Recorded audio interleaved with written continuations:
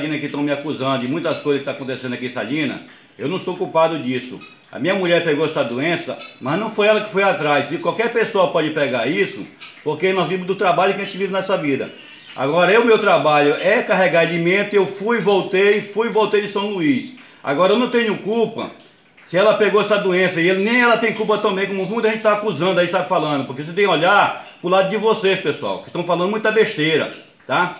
E o pessoal da barreira que estão falando que ela entrou por atalho, ela não entrou por atalho, ela entrou por lá pela barreira mesmo como eu entrei, certo? E como vários caminhões carregam daqui para São Luís Peixe, São Luís Fortaleza, entraram por lá e entra e sai, ainda estão entrando e saindo do mesmo jeito. Quer dizer que sou eu sou excluído e meu caminhão, um dia que foi distribuir peixe para pessoal, a população, não foi eu que dei o peixe. Quem deu o peixe foi o pessoal da prefeitura. Apenas emprestaram o meu caminhão de mim, que nem aqui eu estava. Ligaram para mim onde eu estava lá em São e pediram o caminhão emprestado. Tá? E muita gente está me acusando disso aí. Eu estou aqui na minha casa, eu não estou me recusando de fazer exame nenhum, como o pessoal está dizendo que eu estou me recusando de fazer exame, eu não estou me recusando. Quem está se recusando de fazer os exames em mim são as secretárias de saúde, certo?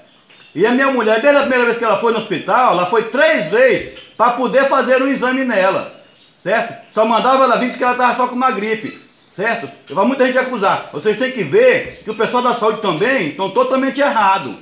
Não é que todo mundo querendo falar, acusar a gente, acusar todo mundo pode apontar o dedo e acusar.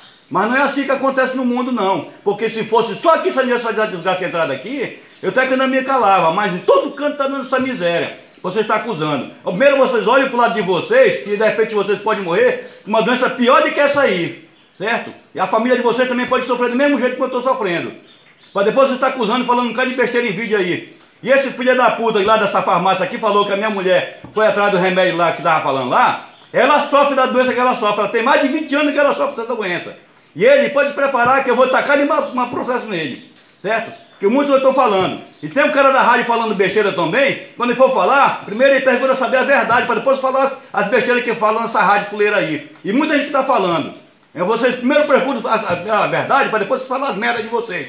E cuidado com a família de vocês, que vocês podem saber se é uma doença pior do que essa. Porque não foi eu que lancei essa desgraça no mundo, não. Qualquer uma pessoa pode pegar. A gente não vai atrás de pegar ninguém no negócio, não. Eu trabalho, senhor. Eu não vivo dependente de ninguém de vocês, não. Tá? E vocês prestem bem atenção no que estão falando, porque olha que eu saio dessa desgraça eu estou na quarentena, que eu estou na minha casa, cumprindo a hora que esse de filha da puta estão mandando cumprir. Eu estou dentro da minha casa, cumprindo minha quarentena. Agora muita gente está filmando, como um filho da puta, tem aquele para da minha casa aqui, no canto da minha casa aqui, que ele está filmando um cara de merda aí, filme, e presta atenção que a família dele, a família dele já está morrendo, com uma doença genérica que na família dele, mas aí não filma manda dizer isso aí. Eu não tenho nada a ver com a vida dele, e ninguém tem nada a ver com a minha vida. Cada um cuida da sua vida. Isso é uma Deus que veio para o mundo, não foi eu que trouxe para o mundo não, senhor. Vocês têm que bem aprender que essa praga vem para qualquer um. Tá? Eu estou sofrendo com essa praga aqui, eu estou cumprindo minhas partes aqui. Agora eu quero que vocês cumpram a parte de vocês, mãe de filha da puta. E presta atenção na vida de vocês.